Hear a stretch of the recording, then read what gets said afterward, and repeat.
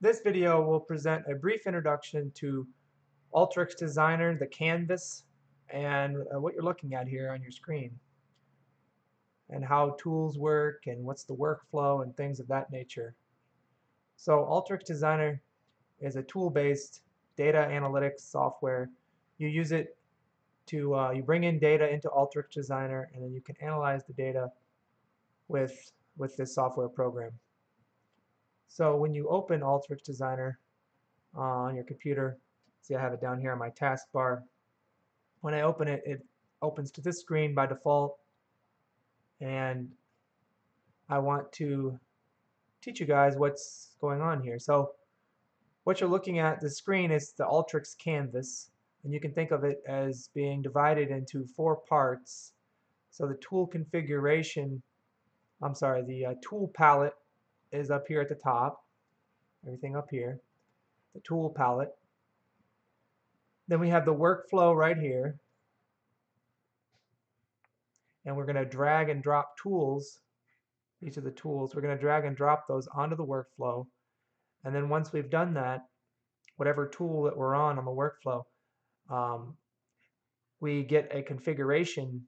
The tool configuration will show up right here for that tool. So the things that we, the various things we can do inside that tool, we can change those things uh, over here in the tool configuration. For example, if we drag and drop an input data tool right here, you see the this over here changed. This is the tool configuration for the input data tool. When we click off the tool over here onto the white space, then the tool configuration goes away. So the, the tool configuration will only show what what tool you're clicked on in, in the workflow. And then once we hit run here, we run the workflow, then the results of that running of running that workflow will appear down here. So there's four four pieces to the Alteryx canvas. So the screen you're looking at is we call it the Alteryx canvas. It's comprised of four pieces. There's the tool palette up here, which I'm going to talk more about in a second. There's the workflow, so we drag and drop tools onto the workflow. And we can connect tools together, right? We can put a browse tool right here, connect it to the input data tool. And whatever tool you're you've selected in the workflow, the tool configuration for that tool will show up over here. So that's the third piece of this canvas. Tool palette, workflow, tool configuration. And then finally, when we run the workflow, the results of running the workflow will show up down here and we'll go through you know more about the results here in a minute. So that's a brief overview. Let's talk more about the tool palette. So let me get rid of both of these tools here. I just uh, selected both of them, holding down CTRL, click on both of them, and then just hit delete. It deletes the tools from the workflow. So the tool palette. So the tool palette here as you can see, uh, like I said at the beginning, Alteryx is a tool-based data analytics software program. And so the tools that the that the developers of Alteryx have created, they've decided to put decided to put those tools into various categories. And here are the categories. There's the in-out category. These are the tools in that category. The preparation category, the join category, and so forth. And each category has a different color, and the tools in that category have their own um, color. Let's go back to our favorites. So by default in Alteryx, when you open it up, you're you're on the favorites category. And I believe Alteryx by default only puts a certain number of tools as favorites. I've added a bunch of tools to my favorites category since since I've um, been using Alteryx, but I, I can't remember exactly what the default tools are that are in the favorites category. But, it, but they are tools that the developers feel that are most commonly used. So I'm pretty sure browse is a favorite by default, input data is a favorite, output data is a favorite. But not all of these are favorites by default. So to make a tool, to put a tool from its one of these categories into the favorites category, which is something you should do so that you don't have to keep going you should put the tools that you use all the time in your favorites category. Then you can just find them all right here in one category.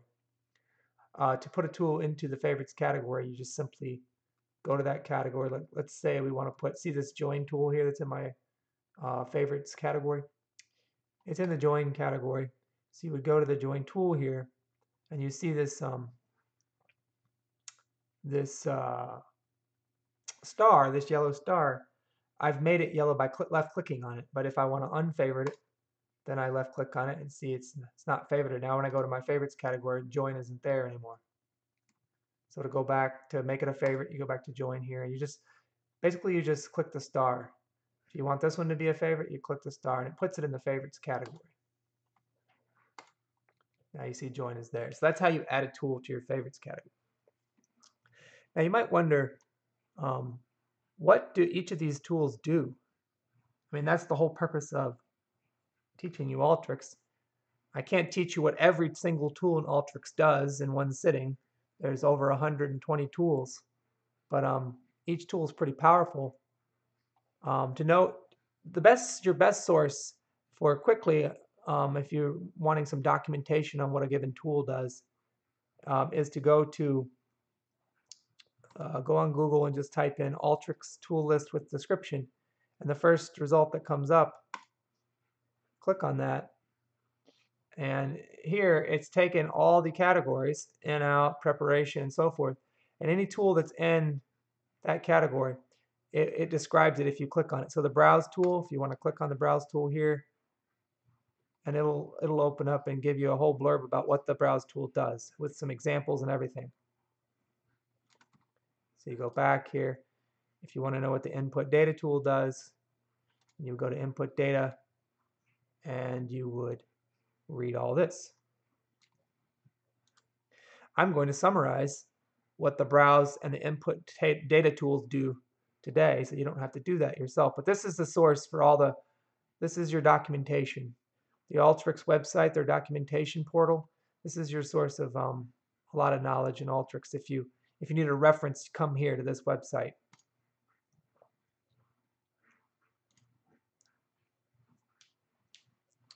Another way to figure out what a tool does is just take like the input data tool. Just let's drag and drop it and put it on the workflow.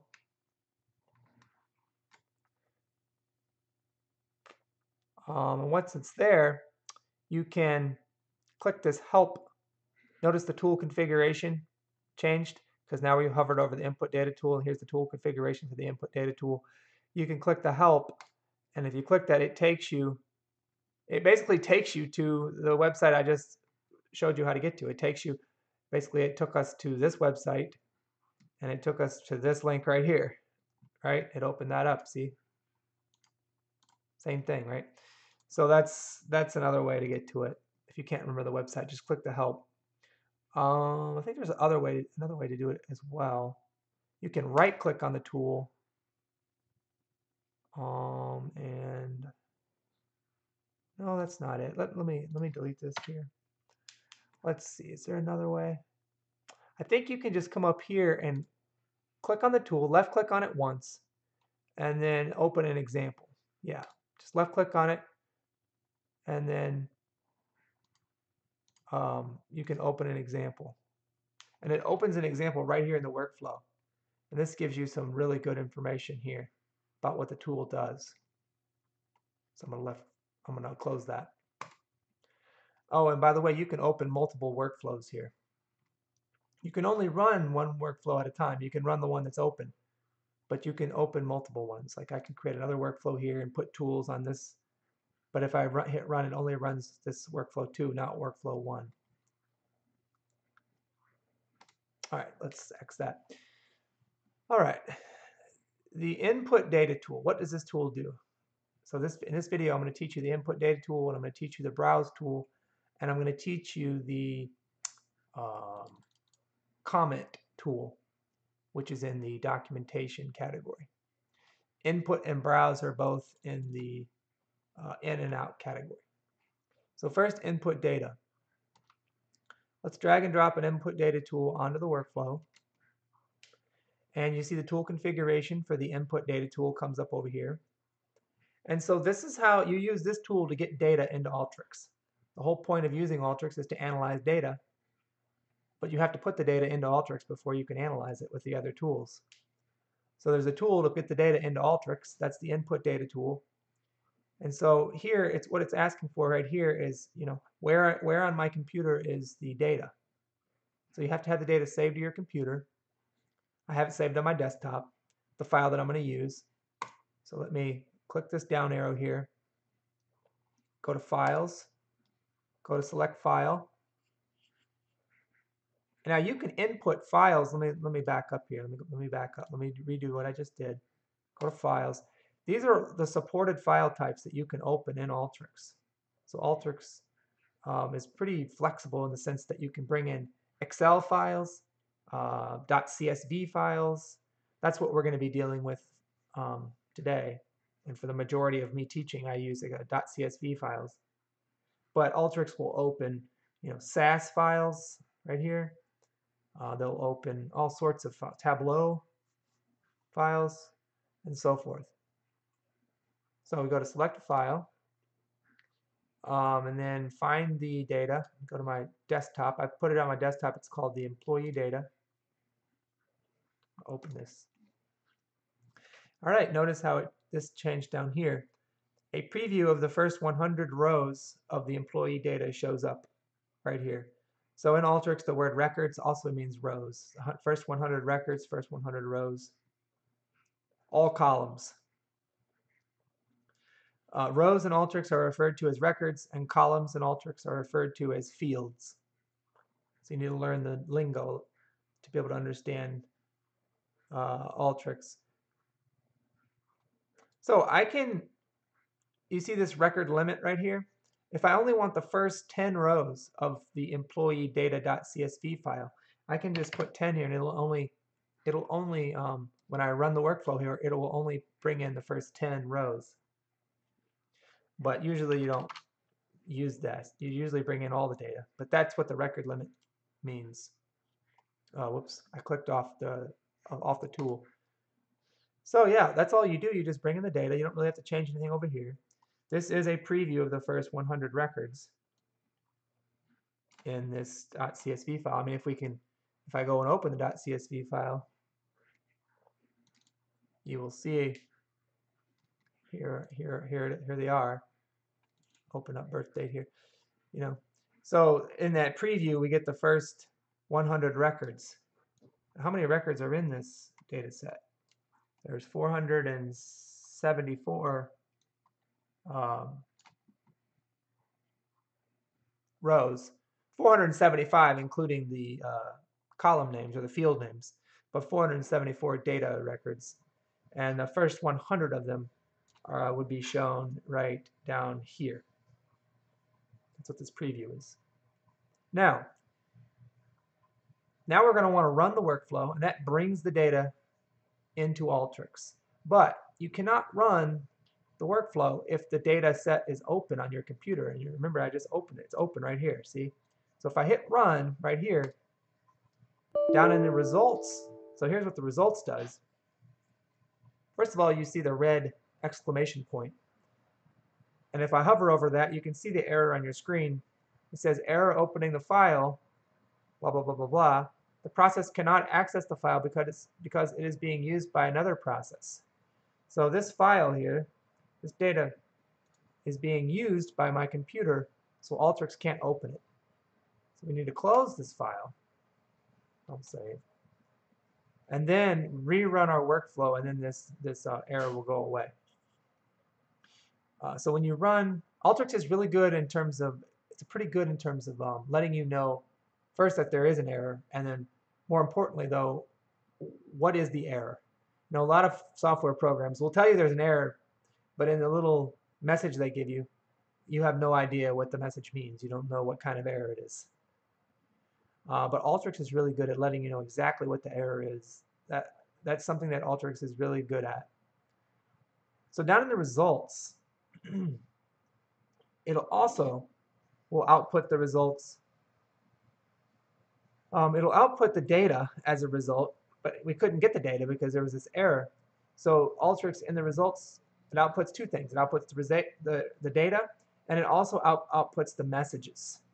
The messages are just messages to the users letting us know uh, if Alteryx was able to run this workflow successfully. And if it wasn't, what were the errors and why were the errors? And it tells them. See, see, running this workflow up here, there was one error. There were no warnings. Um, and notice there's no results down here. So there should be two things here, messages and results. But there's no results, there's no data yet because, no output, I should call it the output. There's no output from running this workflow because uh, we couldn't do anything with the data because, right, it wouldn't, it wouldn't bring it in. But now that I've closed the data set, if I run this again, now there's no uh, exclamation point here. And then down here, we have a message. It just says 474 rows were read from that data set. That means the rows were inputted into Alteryx, and now we can use Alteryx to analyze the data. Um, I'm trying to think of, I should be able to see the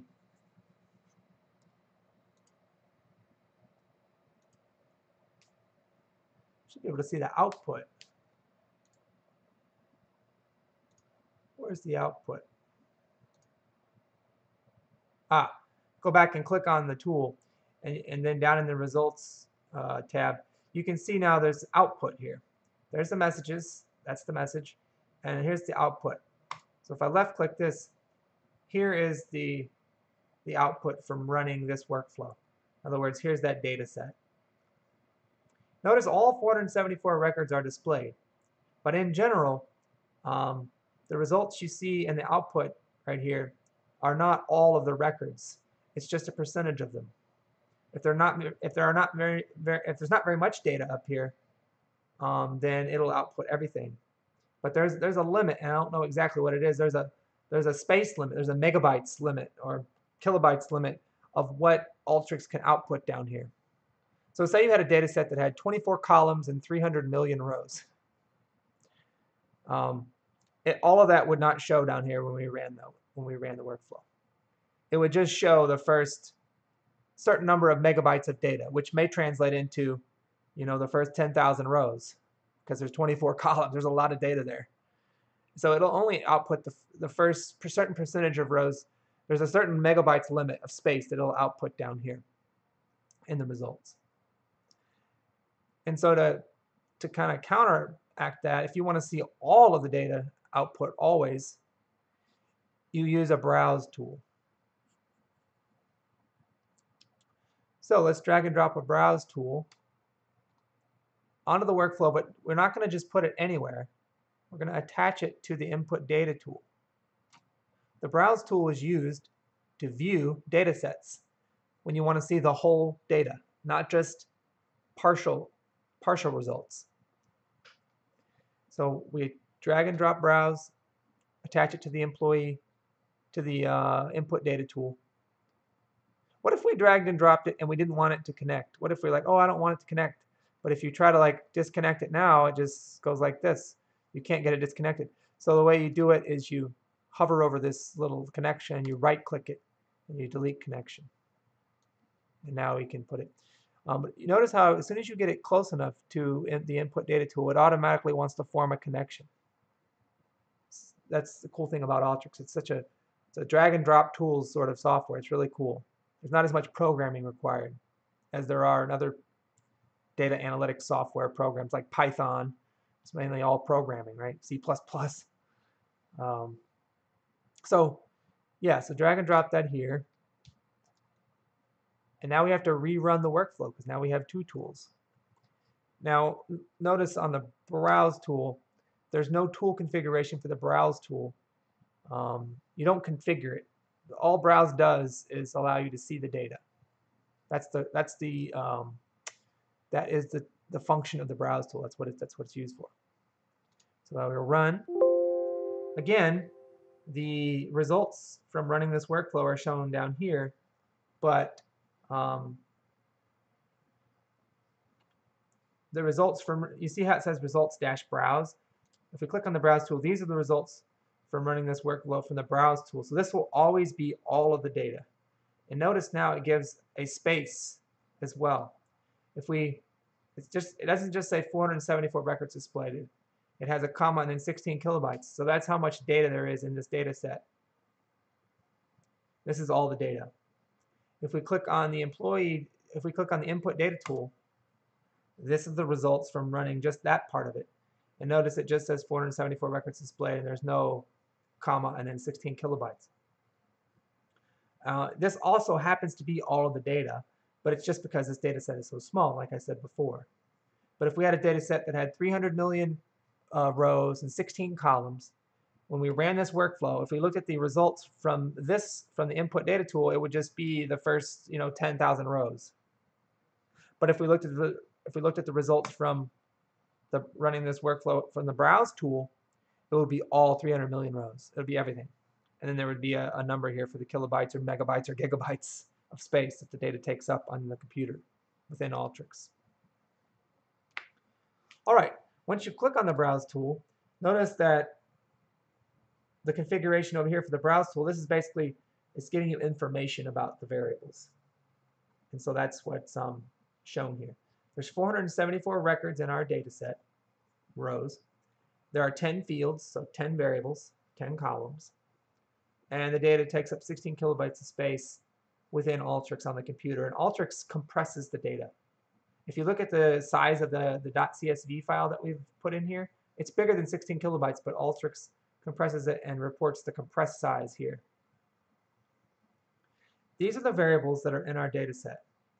There's a column titled ID, a column for gender, a column for birth date. It's an employee data set. It's a set of employees.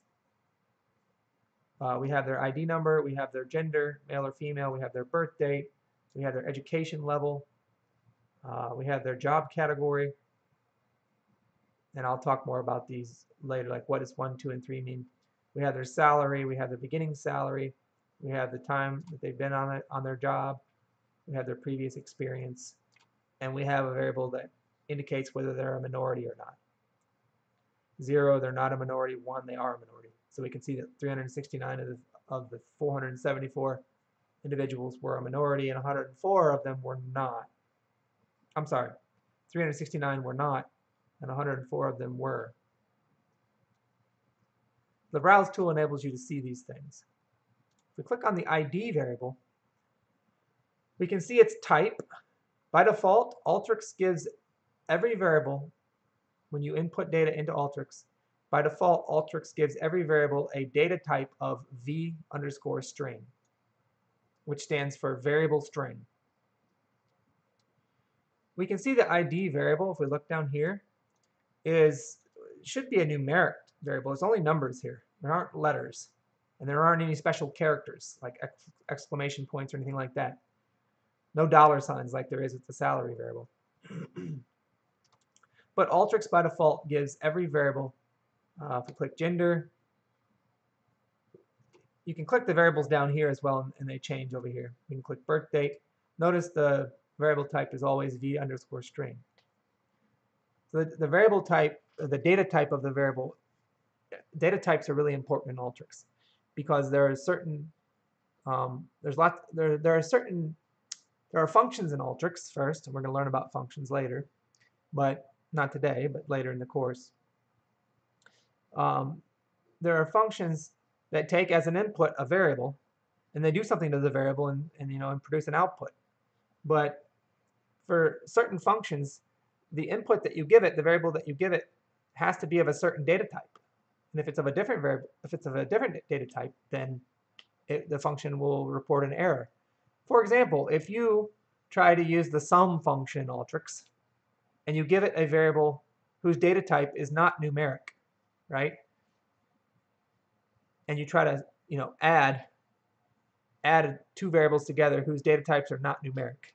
So like you try to say, what's the sum of A plus B? Well, it's just gonna say, I don't know. But if you say if if you give it a data if you give it a variable whose if you give it two variables whose data types are numeric, what's the sum of 1 plus 1? It can do that. It can. So that's an example of where data types matter in Alteryx. So often we're going to want to change the default data type of the variable, change it to something else, and we're going to talk about how to do that in another video. So that's what the data type is. Um, here's the number of records on this variable. And then the data type size for birth date. What this means is for each record, for each record, for this field, for this column, for each row of this variable, um, like this cell right here, can be at most 254 bytes of data here. So you can't put unlimited amount of stuff here. 254, this V-string data type has at most, uh, for each cell, has at most 254, a space limit of 254 bytes. also in the browse tool, you um, you see that this this variable here has one null value in its in its column. If we scroll down here, we can see that the null value for the birth date variable occurs on row 434. There's one null value. We can also know a, var a variable has null value if you just hover over it. If it says OK at 100%, then there's no null values in the in that variables column. But if there's, you can see here if it says null 0.21%, we know there's at least one null value, and so forth. Null values are something that you have to deal with with all data sets. And we'll talk about how to deal with null values uh, later. Uh, what else? Yeah, basically just gives you lots of information about this each variable. So the birth date variable you have all. There aren't any blanks in this variables column. There is one null value. Um, there were two people with this birth date, two people with this birth date, two people with this birth date. Um, uh, one person had a null birthday, and then everyone else had a unique birthday. There was only one person with this birthday, one person, and so forth. It literally gives you every every value and then how many people had that value. Um, so a lot of information in the browse tool. You can definitely use the browse tool to really help you visualize the data before you do anything with it. And that's what you usually want to do in Alteryx when you bring in data. You bring it in with an input data tool, and you attach a browse tool and run the workflow, and you look at the browse tool just see what what kind of what data are we dealing with. All right, and then the last tool I wanted to teach you in this video was the uh, it's in the documentation category, the comment box tool. So make that a favorite. Um, I have it over here. It's my favorite. Let's drag and drop a comment box. Comment box is pretty self-explanatory. It is what it says. So when you when you hover over the comment box, here's the tool configuration. You literally what it is is it just what it does is it allows you to type stuff in here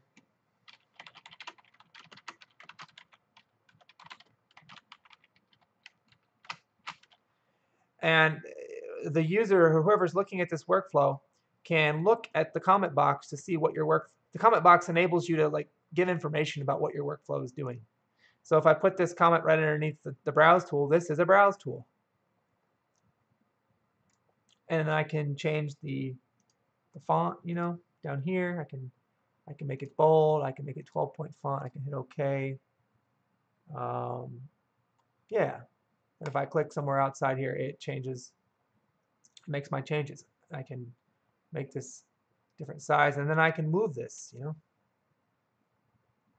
So in your homework, you'll see I want you to answer some questions, and you're always going to answer those questions because uh, what you're turning in is just a workflow.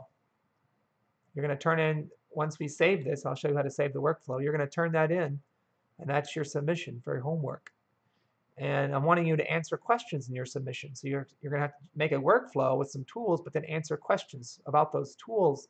And when you answer the questions, you're going to be you need to use the comment box tool, right?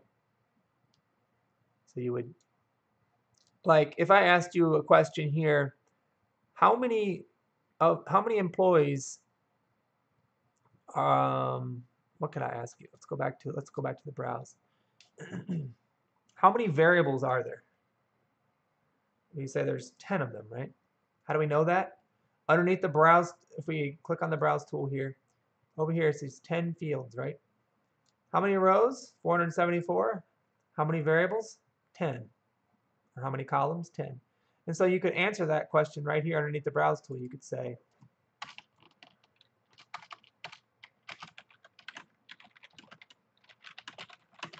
browse tool says there are 474 rows and 10 columns, or 10 variables, 10 fields.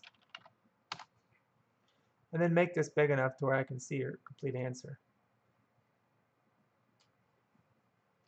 And you can put as much stuff as you want in the workflow.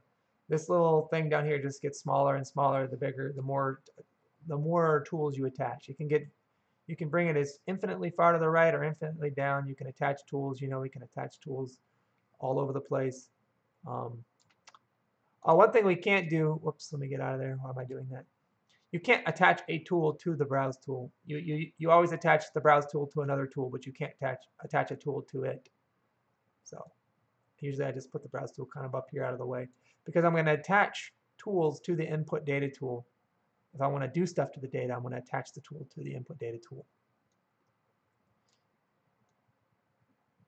So yeah, you can move this comment box right here out of the way because we're going to put other tools down here. We can center align this, you know, we can, if we, we can go here, I think, yeah, text alignment, top center, we can change this to left and it left aligns it, see. So there's, just click on the, the comment box tool and, and here's the tool configuration. You can change the tool configuration. So you learned three tools today, input data tool, browse tool, and a comment box tool. You also learned the Alteryx canvas is made up of four parts, the tool palette, the workflow, the tool configuration, and the results. And then there's one final thing before I end the video. Um, this is the default layout of the Alteryx canvas, right? It has tool palette up here, workflow here, tool configuration here, and results here. But a better layout is to put the results up here is another tab. That way you have all of this space right here for the workflow and then when you click on another tab, click on the results tab, then you have all of this space for the results. And so to do that, all you need to do here is hover over like right this area right here. No, actually hover over the results and left click and hold down and then drag drag it off like this and then let go. So it's like this. So it's kind of free floating. And then click this down arrow, left click, and then tab tabbed document. That makes the results its own document. And here's the workflow. So let's run the workflow again. And then we go to the results. Uh, I got to hover over the browse tool. I got to click on the browse tool. Then we can go to the results and you can see all the results right here from the browse tool. There's the output and then here's the messages. There were no errors. Well, it calls it input. This is like the input data. It's the data from the input data tool, but it's this is output from running the workflow. The browse tool output in a sense. You can see though, you can see all of it right here on the screen. So I, I like to make the results uh, a separate tab document. By default, the results is, I can change it back to the way it was. It's down here, but I don't, I think that's harder on the eyes. And so I move it, first make it just free floating and then left click and say tab document. Now, when you close Alteryx, if I go to, uh, oh, actually there's two more things I want to tell you how do I save this layout so that whenever I open open Alteryx again, it stays at this layout? Because if I just close Alteryx right here now, if I did this, it's going to say, do you want to save changes to the following workflows? If I choose discard changes, it's just going to close Alteryx. When I open Alteryx again, I'm going to hit cancel.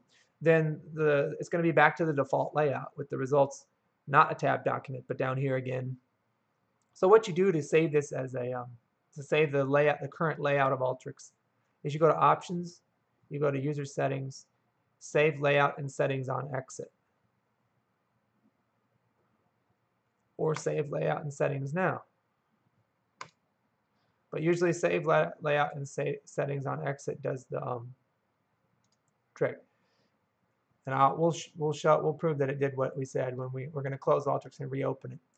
Um, how to save a workflow. So go to File, Save As. That's all you have to do.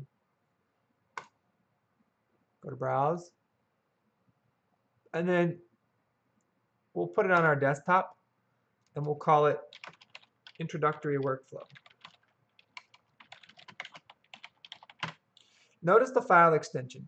By default, a workflow's file, the Alteryx file extension for a workflow is .yxmd. So when you do your homework assignment, say this is your workflow here, you can close Alteryx. We've saved that workflow right here. Here it is. And this is the document that you're going to submit as your submission for your homework assignment. So if we can open this, I can left click this and it'll open up Alteryx automatically with this workflow in it. Or I can left click on Alteryx, open Alteryx, and then I can bring that workflow into it, either way. So let's do it this way. Notice how when we open Alteryx, the, the um, it saved our canvas layout. The results is a separate tab. It's not down here. Now if we, I want to open this particular workflow, then I go to File, Open Workflow, Browse, find the workflow on my desktop, hit Open, and there it is. So that concludes this video.